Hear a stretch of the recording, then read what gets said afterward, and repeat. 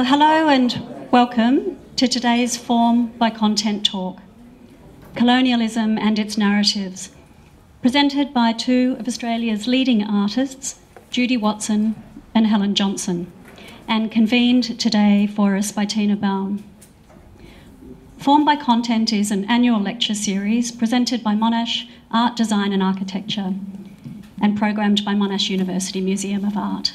Um, we started doing the series online in 2020, obviously in response to the fact that we couldn't gather. We're really pleased to present this talk in person today, and moving forward next year, the talks will all be on campus and in person. So um, we're really delighted to have you here for this event today.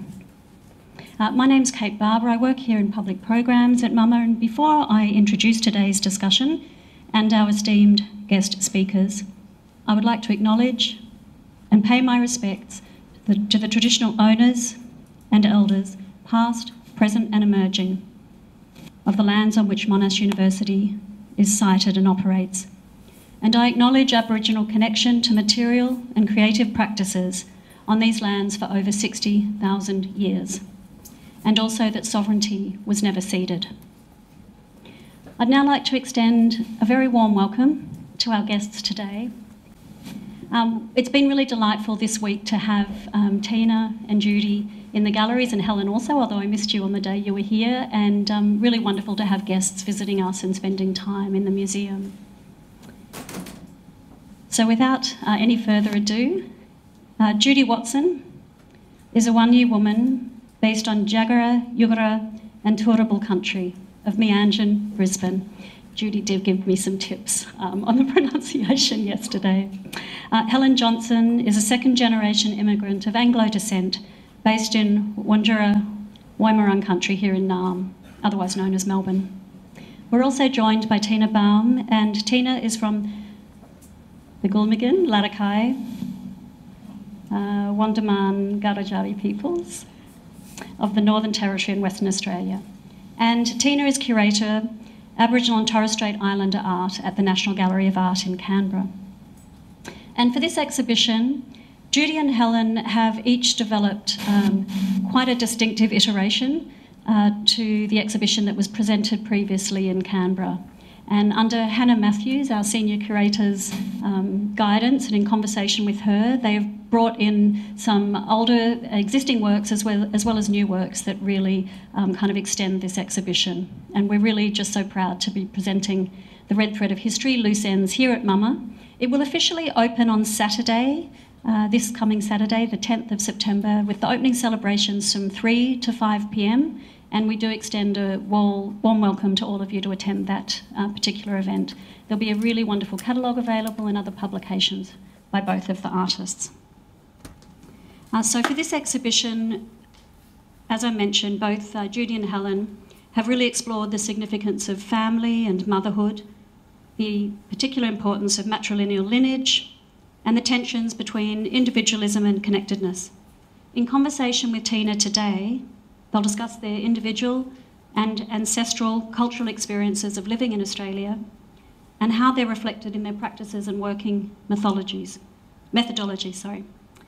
Judy Watson and Helen Johnson, The Red Thread of History, Loose Ends, is an opportunity to experience the work of two of Australia's leading artists in an exhibition that explores complex and varied perspectives on colonialism with an emphasis on the experience of women. The exhibition was originally commissioned by the National Gallery of Australia for the Know My Name program and as a part of the Balnaves Contemporary series. So, as I said, we're just so delighted to have it here on campus at MUMA. Um, looking forward to the exhibition launching on Saturday. Um, for those of you who might have to duck away and leave back to class, there is a really remarkable uh, poster that you're very welcome to take with you, and we hope that you'll join us on Saturday for the opening celebrations. Now over to Tina, Judy, and Helen. Thank you. Thank you. Thank you for that, Kate. I also just wanted to just add to the acknowledgements, and I always do um, as a, I suppose, a generational uh, person from it. The, uh, I also acknowledge the stolen generations and their families and recognise their ongoing journeys of recognition and reconnection. So thank you for that, Kate. Um, what can I say? Let's get these two talking. Um, I'm the kind of uh, ring in with all of this, so I'm really pleased to be here with Helen and Judy today. Um, I wanted to start from the beginning because the, the background's been given already for it. Um, neither of you had really worked professionally together prior to this uh, coming together for this commission um, project. And for those who, who may not know, um, Helen came on board first for the Balnaves commissioning project, and then Judy.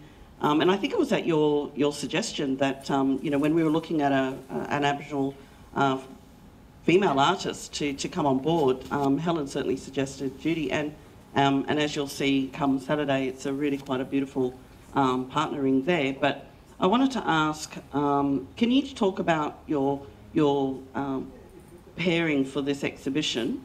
um, and what it's meant to you both um, professionally and personally, um, but also um, because your your coming together um, began before the, the finalisation of your works, whether or not it um, your I suppose friendship, if I can say that, yeah, had any you know flow-on effect to the works that you created in the end for the project. You start. Okay. Um, I I also want to just start by acknowledging that we're on Bunurong country here and that I was born and raised on Wurundjeri Woiwurrung country, sovereignty never ceded. Um, I I guess I was first interested in bringing my work into a conversation alongside Judy's because I've seen, I've always been interested in the way that our works have these material similarities on, on some levels in terms of um, both of us often working unstretched and often working at large scales, um, often doing stuff that's floor based and comes into existence on the floor um, sometimes out of practical necessity for me, but um, that also uses like a lot of techniques that come out of printmaking, um, embossing and pushing and taking paint off surfaces with different textures and things like that. Um, but then the the outcomes of those works are so different because in them inheres our really different experiences of the world, our different subject positions as women. Um, but alongside that, um, I have a beautiful memory of um, having one of the first um, kind of extended conversations I had with Judy um, was at a dinner we both ended up at um, when I was a few months pregnant and feeling quite like alone in that and not knowing anyone else who was pregnant at the time and not knowing what that experience was going to be of childbirth and stuff. And Judy was um, just so generously sharing with me experiences of the beauty of that, but also like the things that go AWOL and the shitty nappies and, you know, all of that aspect of it too. So I guess those were the points of connection for me. And it was a bit of a, it was a bit of a weird process, the making of this show because of COVID lockdowns really restricting travel for the time when we were producing the works. Um, so we didn't get to physically be in each other's studios. We met up in person a few times when we were able and looked at different works together. Um, we went through the Tiwi Islands show together at the NGV, which was a really beautiful experience. Um, and I think you've said this before, Judy, it's a really nice way to connect actually, looking at other artworks and seeing, you, you learn someone's lens. Um, and also through that situation of the restrictions of that time um, Judy really, um, I really learnt a lot from Judy about generosity and sharing and you know she was always sharing her thoughts and images even when they were just an inkling and you know i was like neurotically like oh i have to finish this thing before i let it into the world and i think i learned from judy the, the value of just relaxing with that and letting things flow and letting letting connections form as they you know as they want to I also want to acknowledge um, traditional owners of this country and the fact that we're all on Aboriginal land now as an, a Waanyi woman. And everyone who's here, uh, Aboriginal Torres Strait Island people, and all of you and your families. Yeah, it's true in some ways that I would take photos of things, but I don't know that I was relaxed about it. I, I, was uh, playing around and wasn't sure what I was doing really.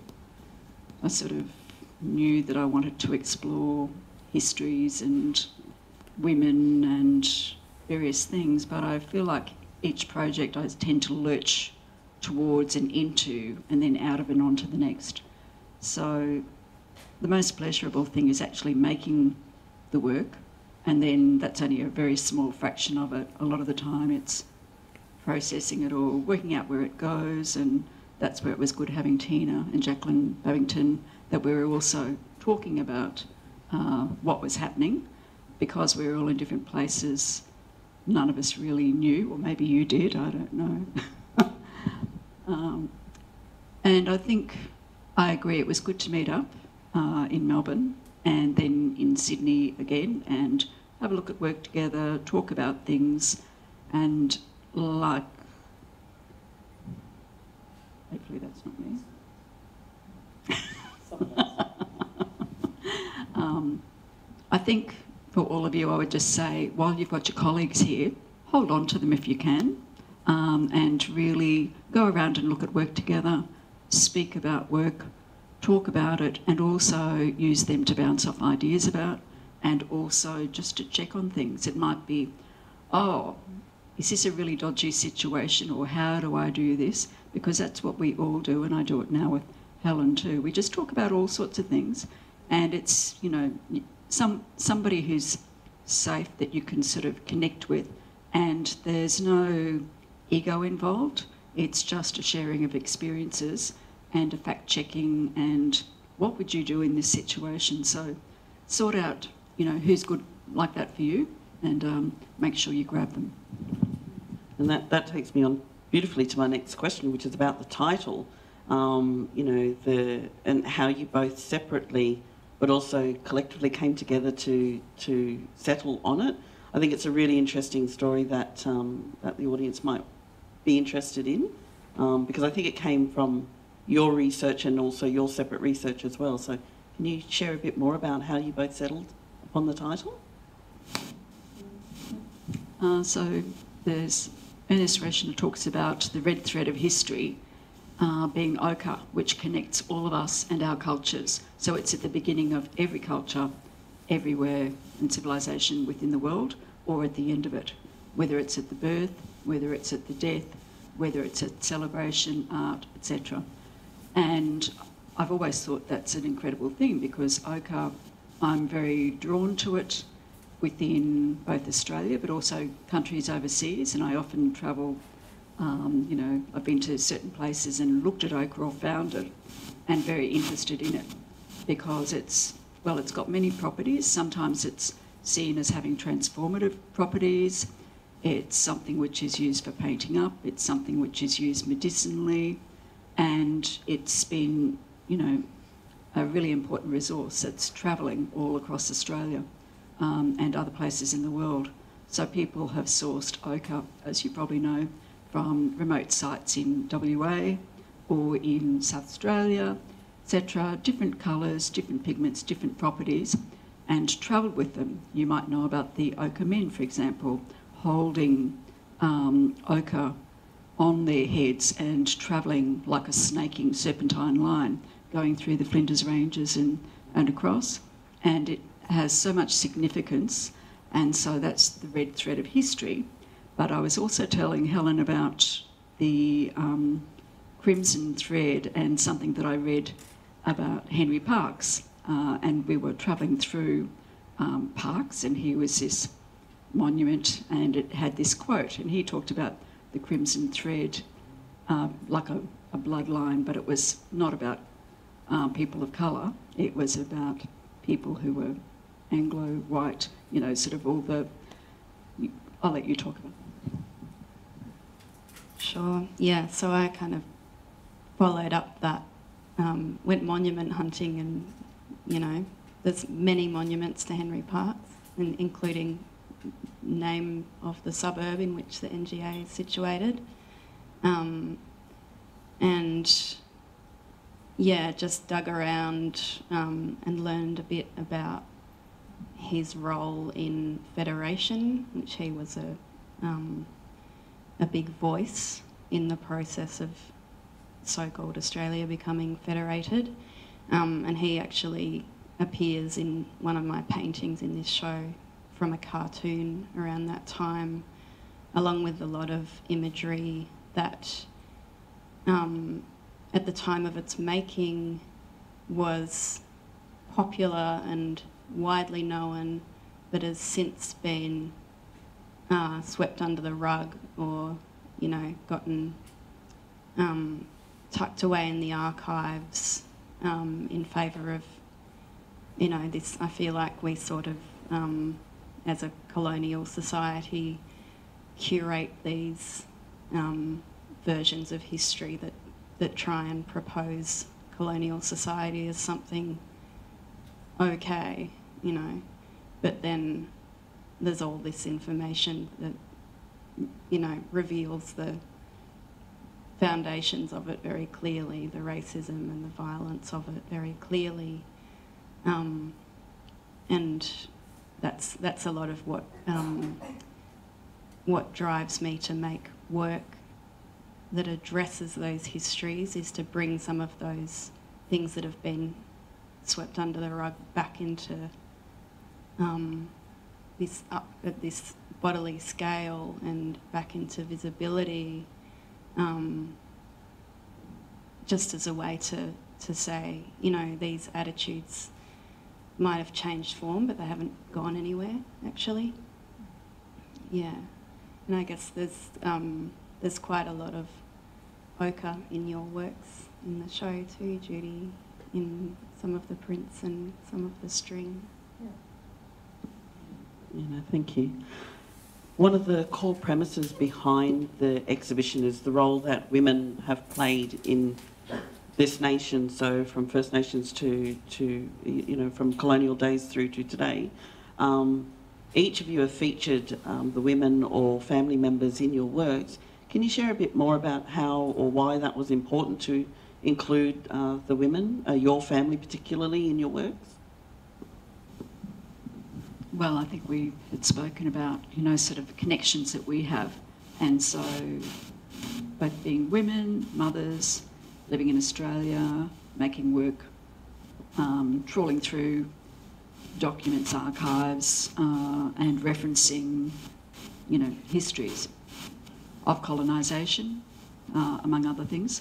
And so I decided to do uh, the silhouettes of my mother, one of my sisters, my daughter, uh, and one of my cousins, and then uh, one of my art assistants, Ebony, whose family is from Sri Lanka. Just sort of thinking about those connections and, and disconnections that we have. But some of the um, silhouettes are placed over maps of country, and the maps have got property stations, and the stations are many that my family, my Aboriginal matrilineal family, worked on, lived on, uh, were born on, and there's you know another work petition where uh, the station owners, managers um, signed a petition saying that they didn't want Aboriginal people in that area to be paid.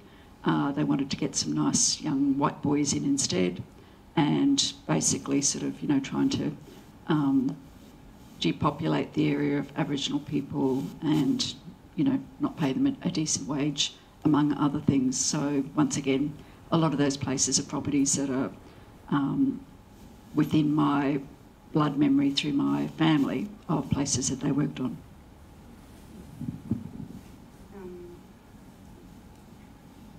I, I think I, I think about a lot of the work in this show in terms of transmissions, um, both the things that get transmitted through history, um, that form cultures, um, and also on the on the familial level. Um, one of my paintings that I made thinking about my sisters. I have four older sisters, and another that contains the mouths of my studio assistants. Um, this was something that we, one of the first things we spoke about was like, right, let's make sure your assistants and my assistants are getting paid equally for this project, that there's equity. Um, but um, yeah, they they play a really important role in in my daily life when I'm in the studio. The conversations that we have and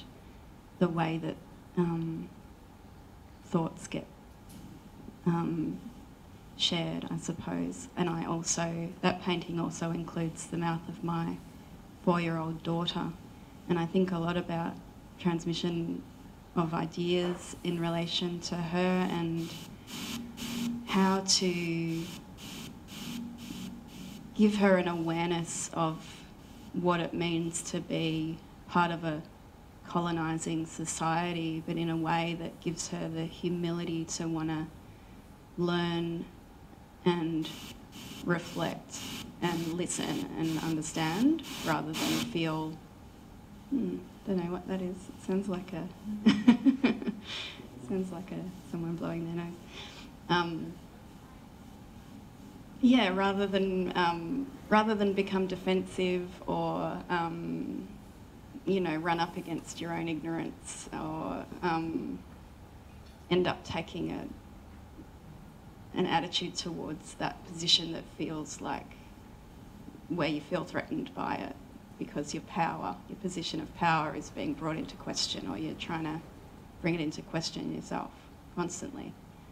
Um, yeah, and I feel like that that feels like a promising and positive thing to me compared to my understanding of those realities when I was growing up in the outer suburbs of Melbourne with British parents who didn't know much about those histories either. Um, but the other day I was, I picked my daughter up from kinder and she said to me, do you know what it is, Mum? It poor neat. And we, which is tadpole season just started and I was like, that's nice. She knows. She's, she's getting that knowledge, appreciating where she is. Fantastic, thank you. Judy, this is a question for you. Your works are, you know, just visually stunning storyboards that ex- that explore truth telling. Really, there's some hard stories that are in some of the works that you have there, from, you know, the frontier violence to to contemporary issues today of, you know, deaths in custody. Can you just share briefly um, why it was important to, you know, not just have those, um, you know, the colonial stories and that, but also those um, you know, some really, really hard stories that you have in your works, even though people may look at them and think, wow, these are, you know, the, the stories that, that lie within them uh, are not so evident. But can you share um, why those particular stories um, have been important in your practice? Uh, yeah, I mean, it comes and goes. Sometimes some of my work doesn't always have those embedded stories. But when they do, it's for a particular reason. So, for example, the skullduggery work, which was actually made prior, but I thought was important to be in in the show, was some um, documents that I'd heard about and a story I'd heard about, which is based around um, the Gulf country, in which this Aboriginal man, King Tiger, and you'll, if you look at the video, you'll you'll see the story and hear um, the various Aboriginal voice performers reading it out, so they're reading the white words, in which um, his remains were, and his, his skull and his breastplate were dug up, uh, given to the matron of Burketown Hospital. He's King Tiger, King of Lawn Hill Mines, which is around our country. And the, the Burketown matron, um, Agnes Kerr, decided that she would wanted to send it off to the Wellcome Museum in London. And this correspondence went back and forth, and this was in the 1930s, not that long ago. So there's a lot of stories like that. Gay Sculthorpe, a Tasmanian Aboriginal curator who I had met when I worked on the Bunjilaka project, wurreka etch zinc wall at the Melbourne Museum, forward me the correspondence. And when somebody does that, I feel like I have the responsibility to do something with it. So that's where it, it came from, really. Um, so that that's a story that I think um, it's just one story, but it sort of um, brings up many stories about ancestral remains um, being sort of, you know, shunted around between museums, collections, uh, used as trophies. You know, it's an ongoing thing for Indigenous people around the world. And so that's where that came from. And the Deaths in Custody uh, work, Vale of Tears, um, it shows only a very, very small proportion of deaths in custody, the ones that families have allowed the Guardian newspaper to collect and to publish. And so it's once again just a, a very small inkling of what lies beneath. And I was talking with uh, John the Signmaker today about it and saying this is something where you have these muslin lengths where um, friends and colleagues and families sewed scars or welt wounds onto them, and you get the shadows coming through onto those documented, you know, sort of lines of text. But it, could be many other things. It could also be um, the parallel histories of um, many people uh, who are unrecorded as having died through COVID, and there might be many families that you know of who have had that happen to them. Um, you know, suicide. There are so many different stories which affect people, and not everybody knows. But it's like that idea of hidden histories and uh, thinking about the psychic or the memory scars which we and families, you know, carry within us. Thanks. Likewise, Helen, your, you know, um, major works, you know, the, the, the large works that are in, in the exhibition, um, also, you know, talk about that, that colonial experience and the, you know, the birth of a nation and, and the forming of a nation and um, from a, you know, uh, a Western perspective as well. Um, can you briefly talk about, you know, one in particular that's really resonated with you? Um, I mean, there's probably many, um, but um, um, you know, a, a, work say like Birth of an um, Institution um, that um, you, would like to share a bit on. Sure. The work Birth of an Institution started with the blueprint of the State Library of Victoria, and it, I wasn't aiming to make an address to to that specific building um, so much as that being one of the buildings that um, I was thinking of it as like the colony getting its eye teeth or something, like when those big colonial buildings started being built um, in the Port Phillip district. Um, but I, um, when I've previously made works um, drawing on those histories and those archives, I've often um, ended up focusing on male imagery and the, the male energy of the um, division of land and the control and, you know, all of it. Um, but with this body of work, I've um, became interested in the role of women um, in those situations and, um, you know, looking at all this imagery from the moment of federation where the newly federated Australia was depicted as a young woman, this sort of young bride or something. Um, and uh, in the birth of an institution, I created this kind of scene where the blueprint of that library has been um, distorted into this fluid, kind of destabilised form and uh, it sort of cuts through the body of a woman in labour who's um, about to push out. Um, instead of a baby's head, there's like the, the dome of that building, the, the Redmond Barry reading room, um, sort of emerging from her body. So it's and it's a big monster of a painting. Um, so it's pretty full on. Um, and around her are all these kind of stakeholders witnessing this birth. It's like the, the father banker, the priest, the policeman, the teacher, all of the, um, you know, the figures who were the beneficiaries and actors in the colonising process um, at that at that time. Um, so, yeah, I guess just um, asking the question like, when we look at those histories, what happens when we put women at the centre of it? Does it? How does it change our thinking about it and our perspective, and you know, thinking about what that role was? You know, women were instrumentalised in many ways, but were also complicit in many ways. Um, Thank you. Um, this is to both of you again, and to Hannah in the corner over there as well. Um, under Hannah's vision, of course, with the exhibition, there's been additional works added in, in the show, um, which have been really fantastic to see. You know, some of the early works and some new works. Um, I wanted to um, ask um, Hannah as well, um, as part of that. You know, I mean, contextualising these these two incredible artists in this show. Uh, it can go on. Um, it, it's been great for me, you know, um, seeing these earlier works, but also each of the artists have also spoken about, um, you know, not seeing a number of these works for a very long time. Um, can you just share really briefly, just um, or or not, um, you know, because there's a lot, there's some fantastic works there. You know, how important was to include those additional works into the show as well?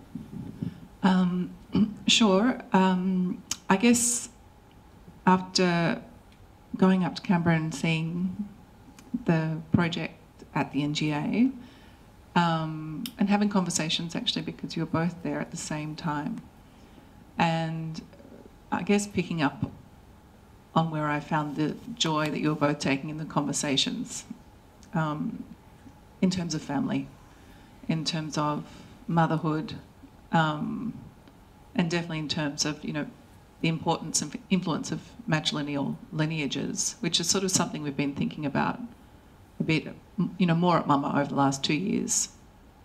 Um, I really heard that and encouraged both artists to share works that they sort of felt reflected back to that time of making their own families and how they thought of their own families and the different forms and languages that were used around that. Um, and I think, you know, picking up on what Helen said, Judy is an incredibly generous in her conversations and sharing of uh, both knowledge and artworks and other people's works and conversations. Um, and Helen similarly. So it was really through the works that both artists kind of brought. And I think when thinking quite personally about those connections and their importance and significance to them, um, that those additions to the exhibition have been made. And yeah, I mean, there are works that are made while being pregnant or expecting, you know, motherhood to arrive. Um, there's a relationships, yes, between, you know, sort of blood family, siblings. There's different notions of families as they might exist, you know, across community, but also maybe in social kind of spheres instead. So I think there's a sort of uh, diversifying of this notion of what constitutes family within the exhibition. Um, but I guess real focusing on whatever that notion is, the importance of connection. Is that enough? Yeah, no, that was fantastic. Um, because, you know, I mean, a lot of the, the works, you know, you know, go across identity, you know, the, like you said, you know, country, community, um, what that sense is and, and from a, you know, a woman's perspective and that. But um, I think one of the last questions before um, we can open it to the floor is, you know, um, and this including for you as well, Hannah, um, as, as all mothers up here as well, you know, you, both your works are really inspirational to so many people and, and uh, play a really important role in well, what I think of as the, you know, the, the truth telling of, of this country. Um, can we ask just what inspires you? Um, you know, besides your family and community and that, um, what drives you to, um, you know, create the works that you do? and you know, in this exhibition as well as you know your your future projections as well. Uh, paying the bills. That's critical, yes. No, project to project. Uh, in this case, it's yeah, stories stories of my family. Um, you know, my mum does artwork with me. Um, my daughter's very strong in my life, as is my my son too. But um, I- I loved doing projects where we were sewing together with colleagues and friends as well, but also making string together, going back to country. Back, going back to country is so important for me, or, or going out into the bush or anything like that. I always feel just really replenished and, and being there and sharing it with them is great. Uh, I was just thinking of the, the profile of Rani, who's on the, the poster, my daughter, and the, the freshwater mussel shells known as uh, malu malu um, in our country. And when you see those middens of these big freshwater mussel shells, you know that's a really important sight. You know, all the women who would have dug them up with their toes and the side of the, um, you know, sort of the banks um, and harvested them. And in fact, it was so important in that area, it was known as water beef. You know, like was such a staple um, diet. But it's also a very vaginal sort of shape, a very female shape. And the striations, or sort of going down through it, are also referencing a lot of the engraved tool marks on carved wooden vessels in our country too. So I think family, um, but also culture, country, and history and contemporary events are what drive me to make something. And I know that by processing it as an artist, it's like you take it through your body, you push it through, and you feel a lot better for it. Yeah, I agree with that. I think um, I think when you make artwork or when you create anything, you are. It gives you like a different relation to your subjecthood and enables you to understand your position in the world in a different way and in ways that are sometimes uncomfortable. Like sometimes I'll make a work and then put it up or put it out into the world and go, oh, I just realised what I was doing, you know, didn't know what I was doing, just following an intuition, but then it sort of comes comes around and slaps you in the face and shows you that your unconscious is fully active. Um, and I think that's one of the things that, that drives me. Um, and I've, I've been thinking about it a lot lately because I've been training as an art therapist and, and working in a psychiatric unit in a public hospital and um, thinking about the importance of having my own art practice in order to understand what it means to hold space for other people to explore through art materials, explore their own situations. Um, and just having that sense of being able to um, being able to recognise in those situations what you're bringing and and what they're bringing, and that you know these different things that can sometimes be hard to discern when there's all these different energies flying around the room. So that's something that's that's been really big for me lately in terms of driving my practice and feeding back into it as well. Thank you. Talking about holding space, and as as a slight shift as a curator, um, I know um, with myself and you know when I certainly when I deal with or, or look at um, works that um, I can certainly relate to, say for example with Judy's works and that, where I have to process works in my own um, setting as an Aboriginal woman, um, which can be really quite upsetting, and, and you know you deal with that too. But for you as a curator, when you're you're creating a space um, for you know artists like Judy and Helen, you know what drives you or inspires you in your role? Yeah, it's a good question. Um, I think as a curator, it's really the learning that can be done with artists and through the work of artists. I think that's a really key thing, especially in a university art museum context. You know, the multitude of perspectives, experiences, knowledges that artists are so generous in sharing through their work. So that's a really key one.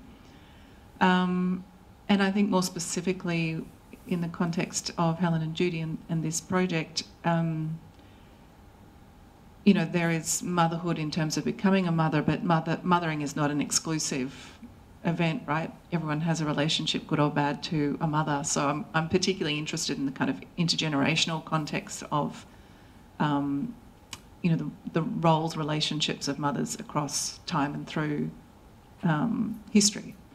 And, um,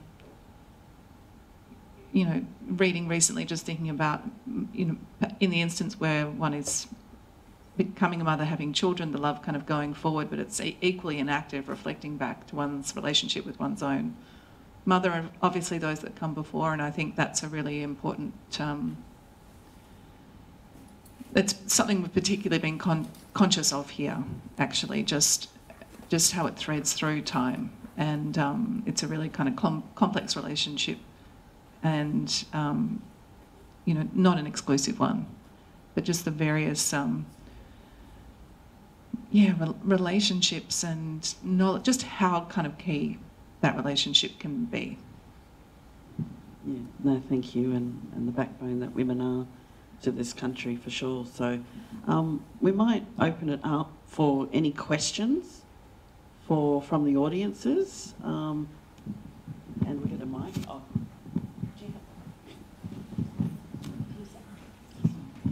Thank you. Question over there. Hello. Um, this is a question for you, Helen. Hearing you discuss art therapy and how your own art practice flows into your art therapy practice and helps you better understand patients' process and making, I'd be curious to hear more about how your art therapy practice flows back into your fine art practice and whether it's helped you appreciate connecting with your own unconscious and intuition in your own making? Thanks for the question. Um, I found it um, when I first started studying, um, which was, I, I got into the art therapy course the same day I found out I was pregnant, actually, so it's been a long process.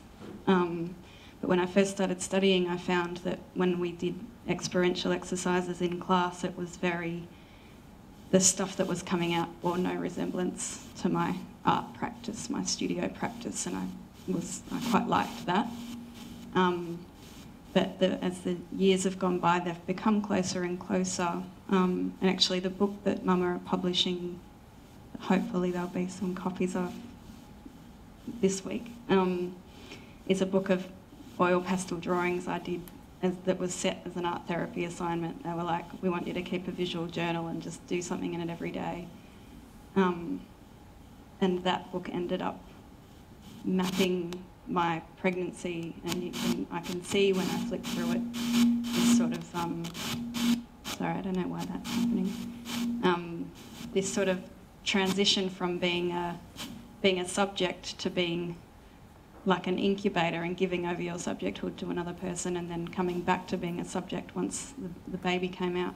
Um, but also more recently, because I, when I run groups on the psychiatric ward, I participate, I make art alongside the patients and um, a lot of those artworks that I've made in that setting have then ended up becoming like actually the only source material I've been using in the studio this past year.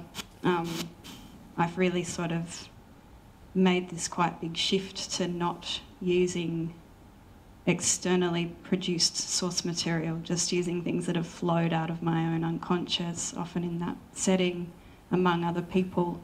And so often made in this situation where you're sitting around a table and it's like a really social situation, which is quite different from the way that I would previously make um, or like conceptualize a work where it's just me sitting trawling through images on a computer or working in Photoshop or whatever.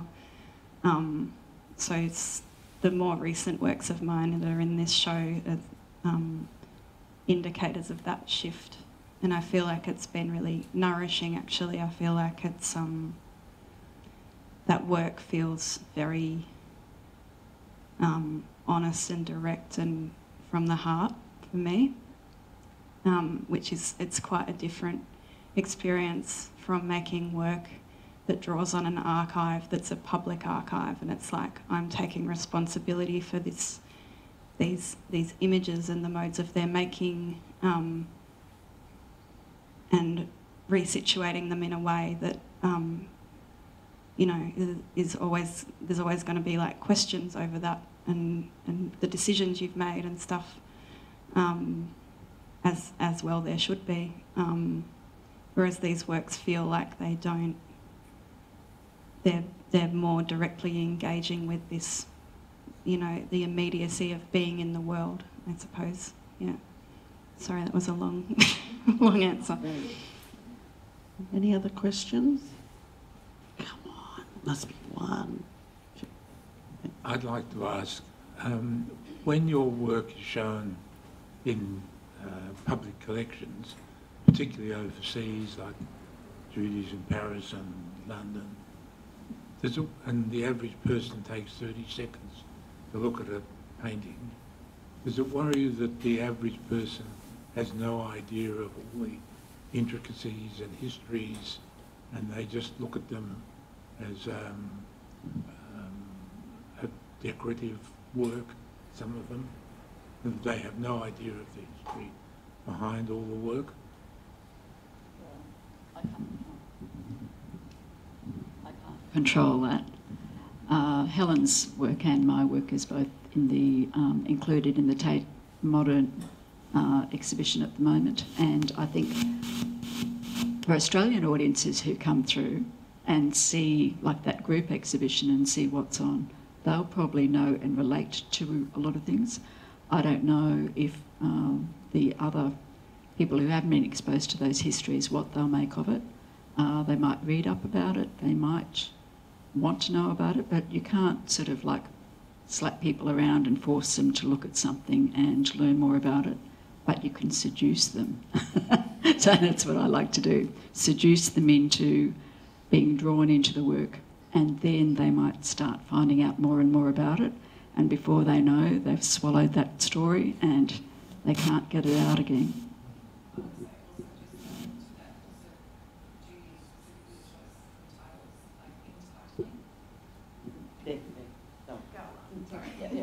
I would just say, in addition to that, um, you know, many artists, including First Nations artists, also, you know, sort of more use language, so the titling conventions for their work.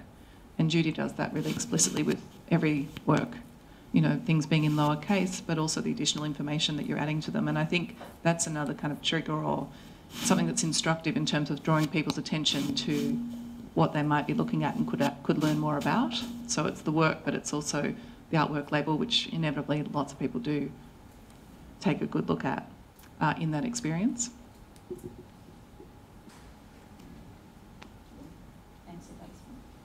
Um, I, th- I think uh, uh, similarly to you, I think it's um, sometimes it can be a prompt for people. I often find people, if they're encountering my work overseas, they'll be like, oh wow, I didn't know anything about this, and that will be a prompt for them to go away and and do some research and learn. Um, but as Judy said, I think it's um, it can be really valuable to have that aesthetic function where the the surfaces of the work and the beauty of the work can actually draw people in to wanting to wanting to engage. Yeah. I just think that artists can lift the lid on things too. And hopefully that swarm of information or, you know, sort of disparity or whatever it is will infect people, but we can't we can't sort of know that that's going to happen for sure. I think it's like everything. People have to be open to it or some, sometimes be tricked into it to then um, accept what, what stories might be about and maybe they're not ready. Who knows? Yeah. What do you think? it's interesting actually when you watch as a when you pretend to be a regular punter in these shows that you know looking at Judy's works that were at the Palais de Tokyo in, in Paris and you know you, you, you pretend you're just wandering around looking at the artworks but you're really listening in on on what people are kind of grappling with or what they're doing and and observing how long they might stop and look at works and that. I love doing that, um, trying to pretend, you know, that I'm not staring at people. But, um, you know, it's really interesting. You know, it is the works themselves draw people in. Um, then they're curious enough um, to to read the labels. But it was interesting um, seeing Richard Bell's work at Documenta. Um, he has no labelings on his at all, and his his idea is that well, if people are curious enough, they will ask about it and they will engage with the um, you know the the workers there about it. But you know, it's a gamble that you take. But you know, the work itself is you know draws people in, and and you know hopefully you can capture even if it's you know uh, half who will then you know have that ripple effect on to say go and look at this show or go and look at this work or or look at this artist. So yeah, you kind of hope that ripple effect kind of takes hold at some point. Yeah. Any other questions? Yeah.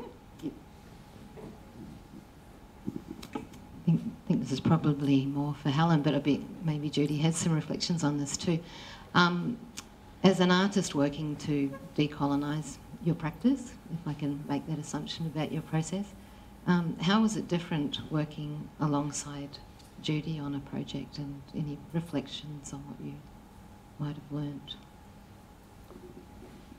Yeah, um, good question. Big important question. Um, I, I mean, I, whenever I address colonial realities in my work, I um, am very particular and give a lot of thought to what it's appropriate for me to address. And for me, that is the way that we as a colonial society construct ourselves rather than, um, you know, the, the injustices and violences that we've wrought upon Indigenous people in those stories. Um, but it's also like if you make that decision, then there's this, you know, space where those stories go that, you know, it's not for me to address them, but I think that having the voices of Indigenous and non Indigenous artists alongside one another, addressing their, their own parts of that story, I think can be a way to, to approach that and a way to, to address that, um, that imbalance. And I think it's, yeah, it's a really delicate and difficult thing to navigate um, and something you, that you always have to be um, on the ball about and questioning yourself about and not, not feeling like you've resolved it. But um, yeah, I guess that's, that would be my answer is having those voices alongside one another. Um, I just want to address an assumption that um, people have made that being an Aboriginal artist is the easiest thing in the world. and it's absolutely not, because not only do you have to negotiate amongst yourselves, amongst your contemporaries, amongst your families, preconceptions, you know, the rest of the world, the assimilated world, etc. Um, there's all of these restrictions that we have and are constantly laid on us, like I call it state of origin. Well, you're not from there.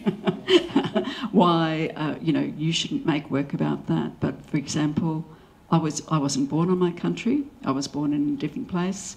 I was born in uh, in sort of, you know, central coastal Queensland. My country's up in the, the Gulf of Carpentaria, northern area. I make work about that, but I don't live there. I don't have a stake on that, and I'll probably get told off. Not that I know of, but I might about things there. And so I think it's one of those things where you have to think about what is appropriate, but whatever you do as an Aboriginal artist, it will never be correct. You're going to get slapped down, so get used to it. And um, you try to do the best you can, and you try and um, do what's appropriate and responsible. But I think there's a maybe a bit of nodding going on from, I can see Tina here. We've all been through it, and it's just something you have to be aware of. I used to call it the blacklash. Um, but I can't, I don't anymore because Blaklash is this fantastic organisation in Brisbane of Indigenous artists and writers and, and workers. But it's like the internal um, lash that you get. So whatever you know the sort of non-Aboriginal people can throw it as a, at us, it's nothing compared to what we get from our own. And you have to um, survive it as an artist. And yeah, it's tough, but it's it's a process you go through, and I think you come out wrung out, but also um, sometimes making better work for it. It's, it's a hard one too because you're navigating that all the time with, um, there's a lot of trauma um, that's, that's still out in the communities and a lot of shame in telling those stories. Um, but also, you, you know, I mean, you know, that, that's just a snippet of, of, of what we know and what we get told. Um, but, you know, having those personal stories like Judy has, you know, of, of your great great grandmother's, you know, um, survival of a massacre that's in, in one of the works, you know, telling those personal stories really, really helps, um, you know, navigate through those, those, those avenues. Um, and, you know, if it's coming from, from a place of, you know, um, of genuine, you know, storytelling, then that's all you can really do. But yeah, we, we are doubly, um, yeah, um, you know, held to account for, for what we do, whether it's as a curator or as an artist. Um, and you continually, like, you know, with particularly, say, the, the, the subjects that, that Judy covers, you know, where you've got historians and, and others that are continually criticising and questioning. Um, you know, it's, it's a tough road, but, you know, I think the works speak for themselves and, and they're a, they're a lasting legacy, you know, really, they're just, they're there um, for the record and, and that's the beauty of, of what artists do. So, um, yeah. Helen and I were talking about that too, and talking about working with history and with colonisation, etc. And it's like, why should we have to carry the burden? Why don't you carry it as well? And so, to all of you, I think share that responsibility around. You know, do the hard work, and um, nobody gets away with it. So you might as well all get involved and yeah, do your work. I think that's a great thing to end on. Nobody gets away with it. So um, please put your hands together and thank Helen and Judy. Can I, can I just add one very short Absolutely. um, thing at the end, which is that this project was commissioned by the Balnaves Foundation, which was the work of Neil Balnaves, and he very sadly passed away just as this exhibition opened at the NGA. Um, so I just wanted to acknowledge his support and the yeah the sadness of him not being able to see the outcome of it. Great. Thank you.